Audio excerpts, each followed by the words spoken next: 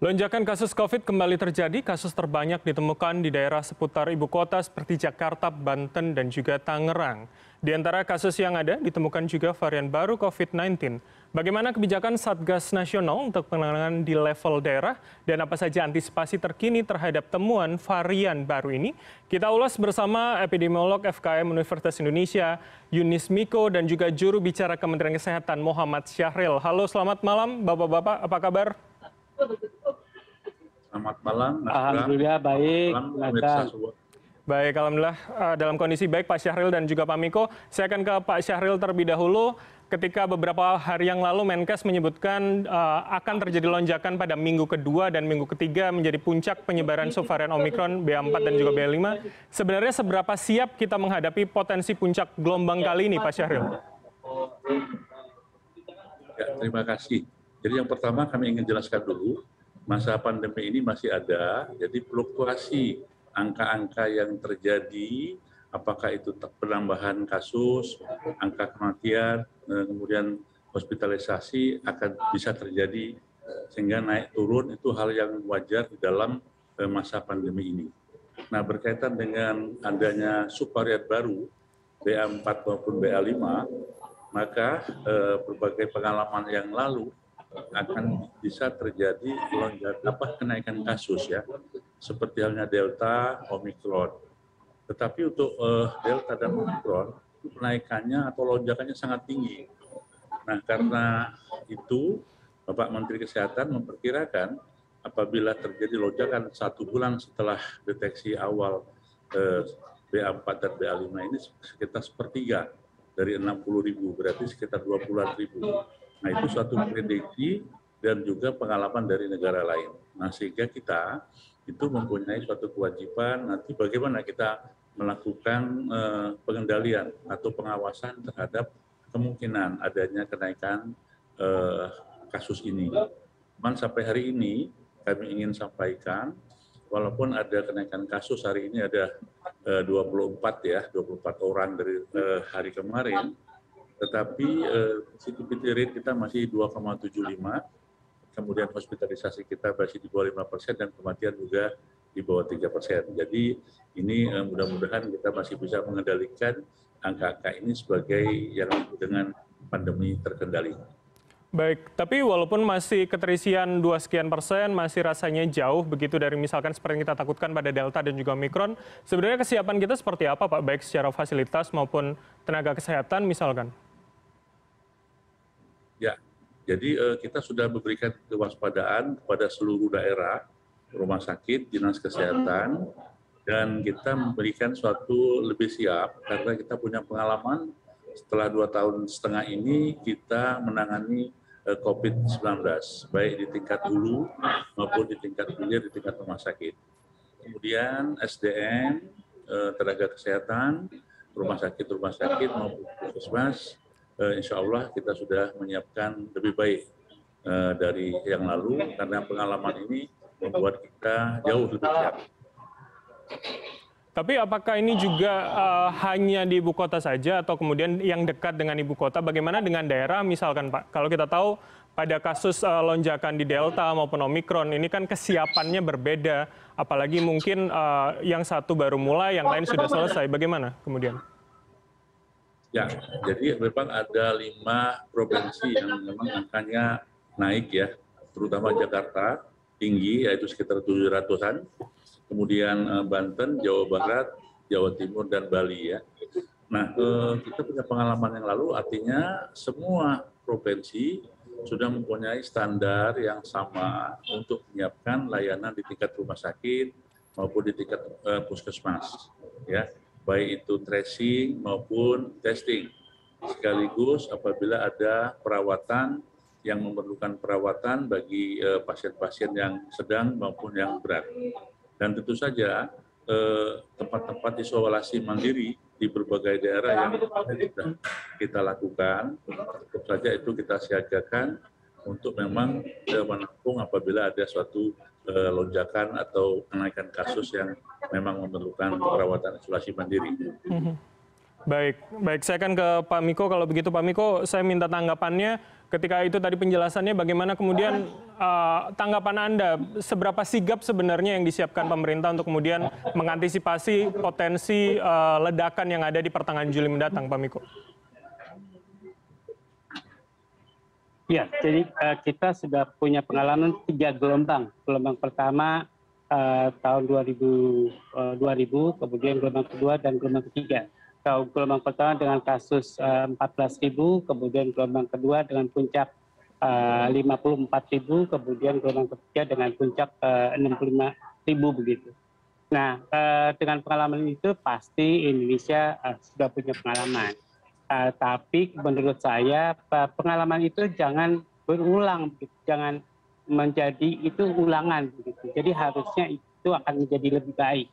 Jadi lebih baik itu menurut saya satu uh, surveillance kita tidak lebih baik dari uh, gelombang pertama dan gelombang kedua.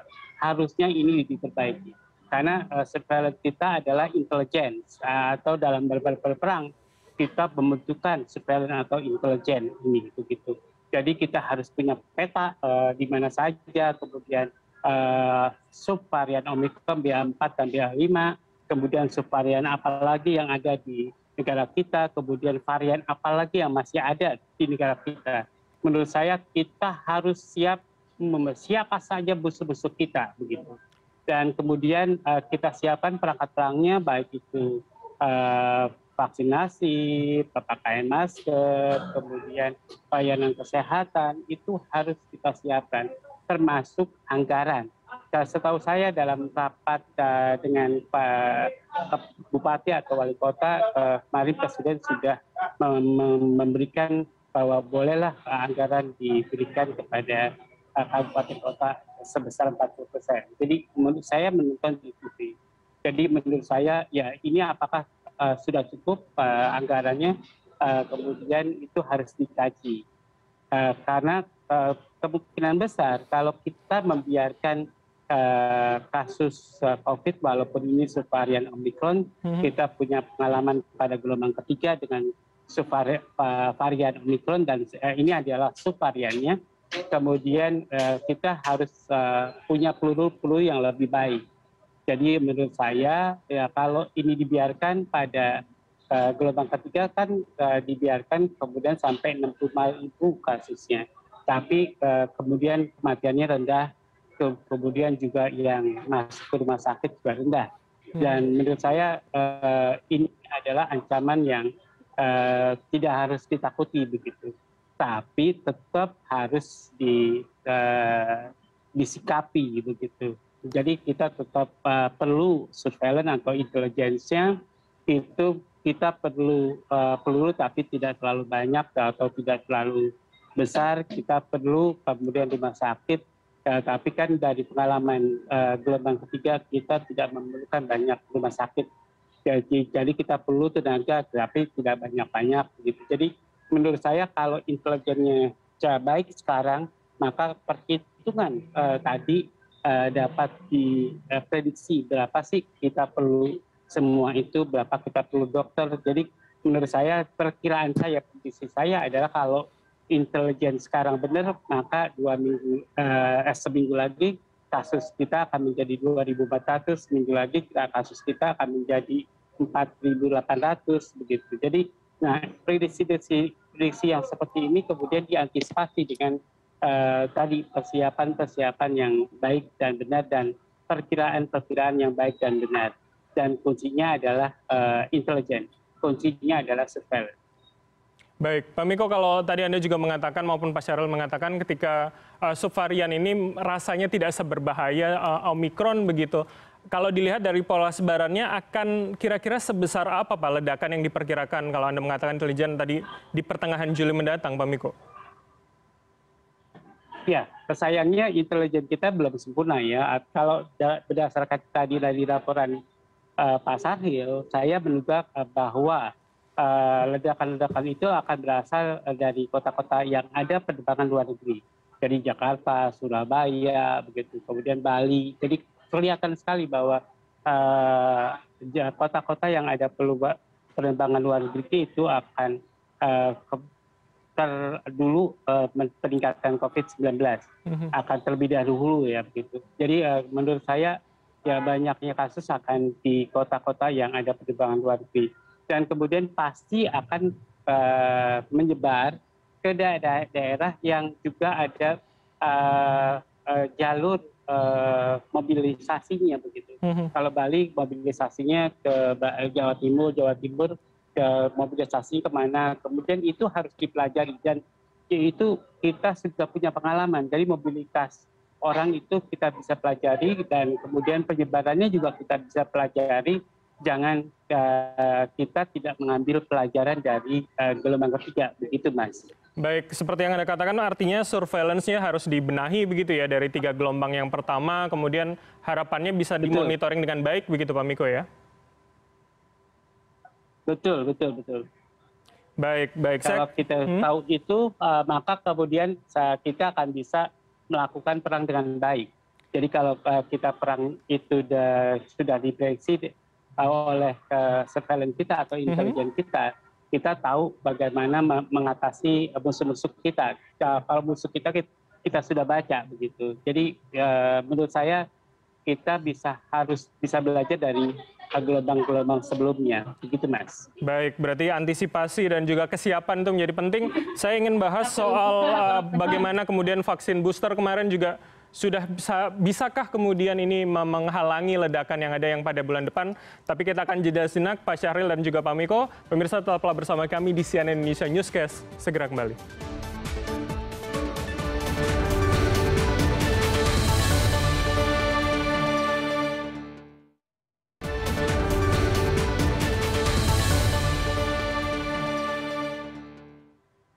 Anda masih bersama kami di CNN Indonesia Newscast. Kita akan kembali berdialog tentang kesiapan kita menghadapi subvarian Omicron B4 dan B5. Uh, eh, sebelum jeda tadi Pak Miko mengatakan bahwa masalah surveillance menjadi salah satu hal yang penting dan juga harus rasanya kita tingkatkan menghadapi potensi lonjakan pada bulan depan. Saya akan ke Pak Syahril minta tanggapannya Pak ketika menjadi masalah bagaimana kemudian kita seharusnya juga bisa memfokuskan dan memprioritaskan uh, pengawasan dan juga analisis data ini Pak.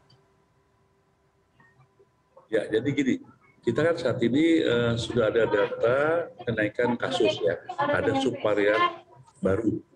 Nah, tugas kita adalah bagaimana melakukan pencegahan dan pengendalian itu secara serentak, simultan. Di satu sisi, protokol kesehatan dengan PHBS itu harus kita uh, ketatkan, kita disiplinkan kepada seluruh masyarakat. Oh ini ada ada subvarian baru loh, kan kemungkinan akan terjadi lonjakan kasus yang Pak Menteri sudah mengingatkan sekitar 20-an ribu, berarti sepertiga dari Omikron yang lalu. Jadi ini harus kita tegakkan sama-sama. Yang kedua, untuk menekan agar kesakitan tidak uh, lebih berat, makanya vaksinasi itu merupakan upaya agar masyarakat yang terkena uh, subvarian baru ini itu tidak lebih berat. Sehingga vaksinasi ini menjadi kunci utama. Sehingga harus bersama-sama antara tadi protokol kesehatan, PHBS dan vaksinasi, dan satu sisi kita tetap menyiapkan seperti apa yang disampaikan oleh Pak Miko tadi, ya untuk uh, intelijen kita, deteksi kita, ya semakin banyak. Sesuai dengan angka uh, kasus yang ada, sekaligus juga kita menyiapkan uh, bagaimana penanganan di isolasi mandiri karena kita sudah lama nih Pak Domiko ya. Isolasi mandiri kita kosong ya sedikit. Dan sekarang akan ada lagi kita harus siapkan kembali. Karena tidak gampang juga memobilisasi SDM, alat-alat, mungkin APD dan seterusnya. Rumah sakit saya kira sudah kami sebarkan seluruh edaran dari Menteri Kesehatan kepada Dinas Kesehatan dan rumah sakit seluruh Indonesia. Bukan hanya rumah sakit pemerintah tapi semua rumah sakit swasta yang uh, melayani kasus rujukan ya uh, apabila ada pasien yang harus rujuk ke rumah sakit. Baik, Pak Syaril, tapi apakah kemudian dengan hanya surat edaran begitu sosialisasi kepada pihak uh, rumah sakit di daerah kepada masyarakat yang lebih masif ke, ke banyak daerah, ini sudah bisa cukup kemudian Pak untuk kemudian antisipasi ledakan uh, subvarian ini Pak? Oh bukan, bukan hanya itu. Kita kan sudah punya satgas-satgas ya dari tingkat nasional bahkan sampai ke desa-desa ada satgas. Dan ini masih berlaku Satgas ini mempunyai peranan yang sangat penting di dalam menggerakkan, mengendalikan eh, bagaimana masyarakat dapat dimobilisasi untuk melakukan tadi disiplin, kemudian melakukan vaksinasi, dan tentu saja pemerintah daerah sangat peran sentral di sini karena masyarakat itu adanya di daerah, dipimpin oleh seorang kepala daerah yang notabene ditindaklanjuti oleh kepala dinas kesehatan. Mm-hmm. Jadi kita uh, serentak, maksudnya bukan hanya ini bukan tugasannya Kementerian Kesehatan, tapi seluruh uh, pemangku kepentingan, termasuk pihak swasta yang berkaitan dengan vaksinasi. Dulu bagus sekali pihak swasta bersama TNI Polri, kemudian dari masyarakat untuk menggerakkan sentra-sentra vaksinasi untuk meningkatkan cakupan vaksinasi satu, dua maupun booster. Baik, artinya uh, semua pihak dituntut untuk kemudian bisa berpartisipasi, kemudian mengantisipasi. Nah, ketika Anda tadi sudah uh, banyak mengatakan soal vaksin, begitu, kalau boleh tahu dari uh, Anda, Kemenkes bagaimana kemudian datanya, Pak? Apakah kemudian vaksin booster ketiga ini sudah dianggap cukup, atau jangan-jangan kita butuh vaks, uh, vaksin booster kedua sebetulnya? Oh, belum. Jadi eh, vaksin kedua ini kita datanya baru 24 persen, hmm. ya. Sementara eh, kita akan mencapai di atas 50 persen. Ya, kalau WHO menstandarkan 70 persen. Sementara vaksinasi 1-2 atau vaksinasi primer kita sudah 64 persen, jadi kurang 6 persen sebagai dari standar WHO yang ada. Nah, standar-standar ini harus kita capai bareng ya, serentak.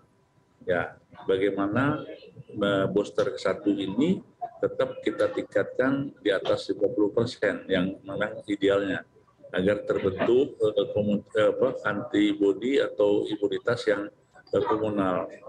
Imunitas bagi masyarakat terutama nanti apabila kena tidak jauh lebih berat dari omikron atau delta yang sebelumnya. Tentu saja ini memerlukan peran mas ya. Peran kita semua yang kemarin sudah bagus. eh, dari kita semua stakeholder yang terkait dalam menggerakkan eh, vaksinasi ini.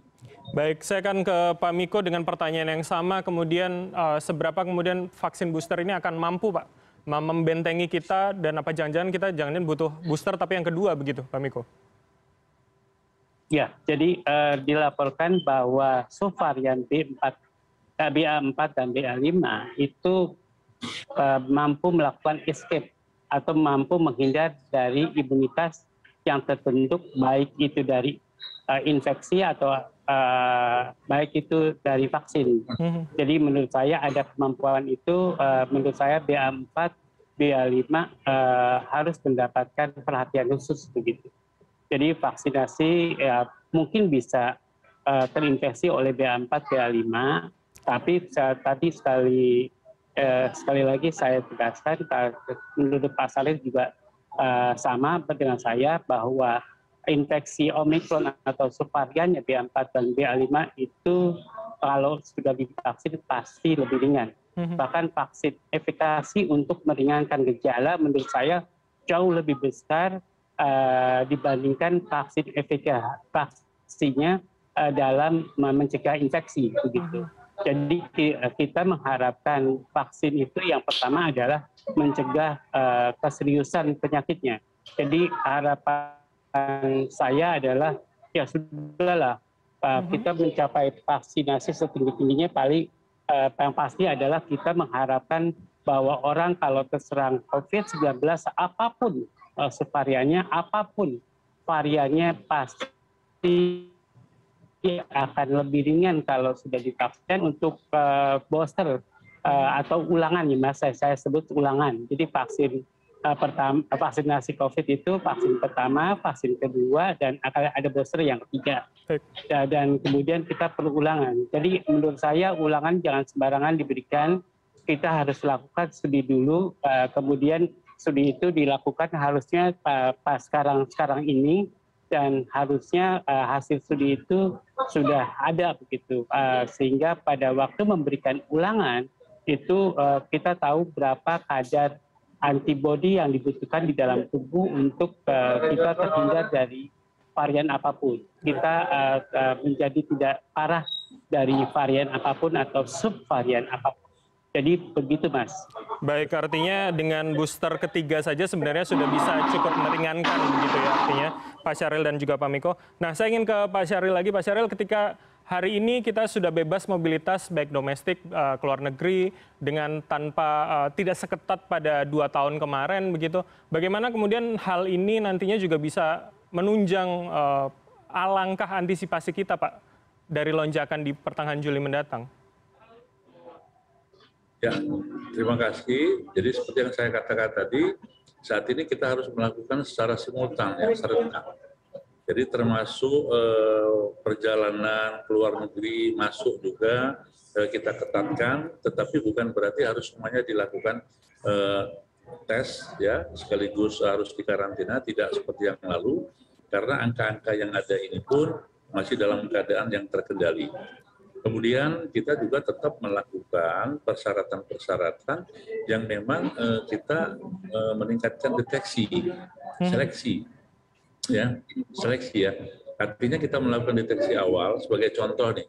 Kalau ada pertemuan-pertemuan yang berskala internasional, maka salah satu persyaratan yang harus mereka lakukan adalah melakukan tes antigen yang dilanjutkan PCR apabila positif. Dan ini sudah dilakukan dan saat ini pun di beberapa tempat atau di beberapa uh, peristiwa itu juga dilakukan seperti itu. Karena ini adalah bentuk suatu kewaspadaan kita agar kita sama-sama uh, melakukan uh, pengendalian uh, kenaikan kasus ini. Baik, kewaspadaan menjadi kunci begitu ya Pak Syahril. Saya ke Pak Miko. Pak Miko terakhir bagaimana kemudian apakah cukup kewaspadaan saja dengan segala pelonggaran aturan apa jangan-jangan kita harus mengetatkan lagi begitu aturan penggunaan masker kemudian atau aturan PCR untuk perjalanan jauh seperti apa Pak Miko? Ya, kuncinya ya, adalah uh, maaf uh, saya atau uh, silakan saya Pak ya? Miko. Iya. Pak. Iya. Oke, okay, jadi uh, kuncinya adalah pada uh, intelligence uh, atau surveillance.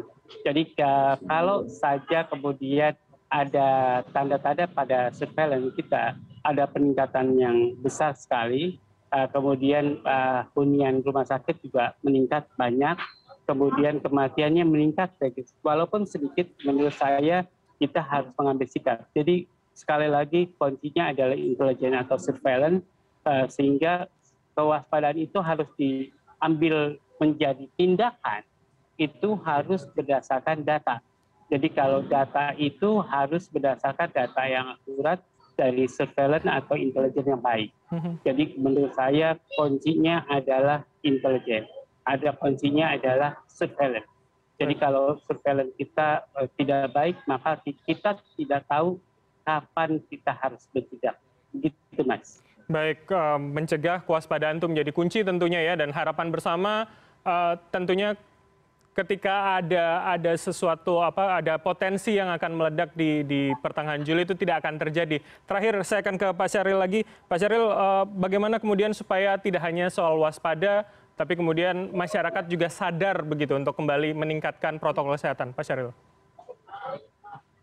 Jadi dengan adanya tanda kenaikan kasus ini, kita harus memberikan suatu warning kepada seluruh masyarakat dan seluruh pemangku kepentingan. Saatnya kita untuk melakukan peningkatan hmm. kewaspadaan, baik itu meningkatkan kewaspadaan dalam disiplin, penggunaan protokol kesehatan yang saat ini sebagian dinilai oleh kalangan itu sudah mulai kendor jadi kita tingkatkan lagi kedisiplinan ini, pengawasan ini, dan semua yang terkait, yang bertanggung jawab di lingkungan masing-masing untuk memberikan pengawasan. Ya, yang kedua, masalah vaksinasi juga harus digerakkan oleh seluruh sektor atau seluruh eh, yang saya sebutkan tadi yang terkait, Baik. agar kita semua bergerak untuk mencapai target-target untuk memberikan uh, perlindungan kepada masyarakat agar kita bisa melakukan pengendalian eh, bagaimana terhadap eh, pandemi ini khususnya menghadapi eh, subvarian baru BA4 maupun BA5.